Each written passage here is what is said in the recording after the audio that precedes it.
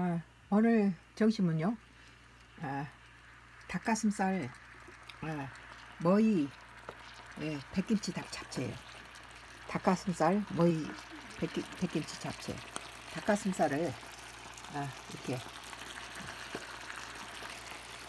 예, 이렇게 잘 어, 양념해서 볶은 다음에 당면을 또 삶고 네, 백김치를 이렇게 굵직굵직하게 썰어서 아, 머리도 같이 머리도 같이 썰어서 어, 백김치하고 머리 부추 어, 이렇게 머리대하고 머리 이파리도 같이 썰어놨어. 이 백김치하고 닭가슴살을 볶은 거 하고 아, 이렇게 자색 볶음하고 당면은 이제 양념해가지고 아, 이렇게 것을 양념해서 같이 좀 볶으면 아 맛있겠죠.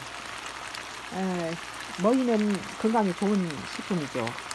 고추도 그렇고, 어, 뭐 백김치는 아, 아 아주 맛있어요. 그냥 먹어도 스큼스큼하고 올 봄에 저는 백김치가 너무 맛있네요. 어, 너무 맛있어요. 그냥 맨입에 먹어도 맛있어요. 그리고 이제 여기에 제일 중요한 게 자색 고구마, 자색 양파가 들어갔어요. 어, 이번에 이제 그 최소한 어, 자색 양파를 이렇게 집어넣었어요.